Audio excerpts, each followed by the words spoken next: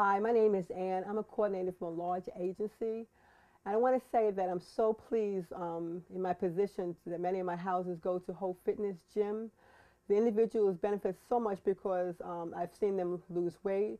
I've seen that they um, they love the interaction with one another, look forward to see each other. They prepare not only for um, for to go there um, weekly. They they enjoy to prepare themselves for life. I can see the health benefits. We see that um, they're preparing themselves to um, for hope for Special Olympics, and the team there is so wonderful. When you when you walk in their door, they're so warm, they're professional, and they're caring, and it means a lot.